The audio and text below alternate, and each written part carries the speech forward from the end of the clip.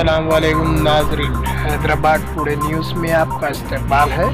मैं हूँ जफरुद्दीन और आप देख रहे हैं हैदराबाद टुडे न्यूज़ मेरा नाम समीर खान है।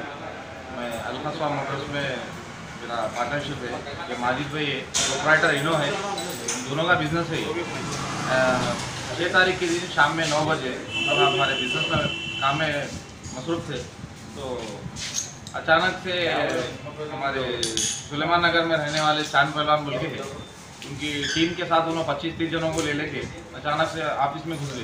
उन्होंने पूछे, क्या हुआ भाई? इतने जने को आए तो बोले, हमारा भांजा दामाद कहीं के पैसे देना आ रहे थे उन्होंने हमारे को पैसे देना उनके भांजा दामाद वो पैसे मतलब बाजू मल की किराए से दिए थे उनको वर्कशॉप टू व्हीलर वर्कशॉप उनको किराए से दिए थे। सात महीने का किराया बाकी है और करंट बिल के पैसे तो टोटल मिला के एटी फाइव थाउज़ेंड के करीब कुछ हो रहे थे पैसे।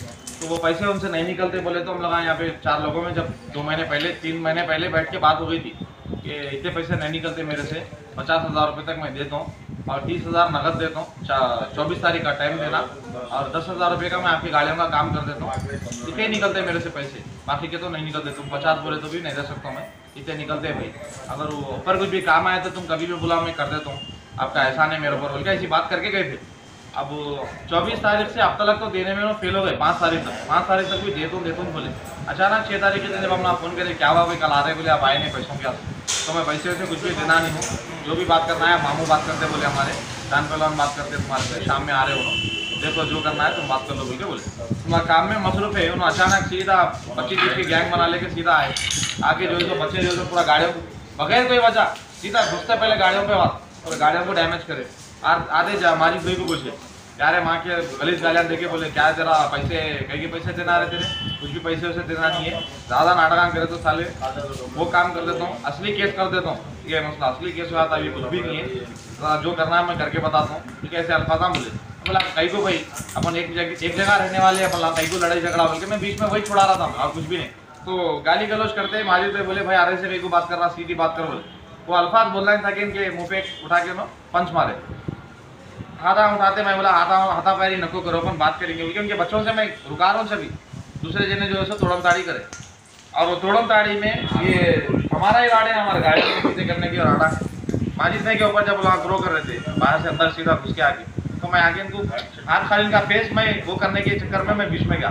तो मेरे को सेवन एट टाइम सात से आठ मरतबा मेरे हाथ पे मार पड़ा। तो मेरे तीन हड्डियाँ ब्रेक हो गई, तीन हड्डियाँ भी बोन्स मेरे जुड़ गए तो मैं राजेंद्र नगर पुलिस स्टेशन में हम लोग जाके रात में छः तारीख की दिन शाम में हम लोग कंप्लेंट करें।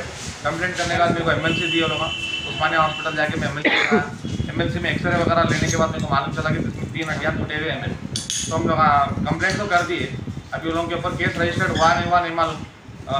ऐसे ही पवन साहब बोल के है। पवन साहब जो है सो लोगों को उन लोगों के पीछे जो भी इन्फॉर्मर है लोग आड़े टेढ़े कुछ भी बात बोले तो लोग सुन ले रहे।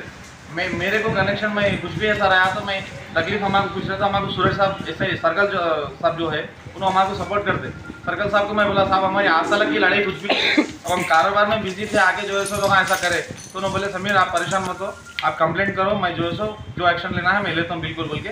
मेरे से वादा करे। साहब, थोड़ा दो दिन से बिज़ी थे, उसमें बंदोबस्त में वगैरह थे।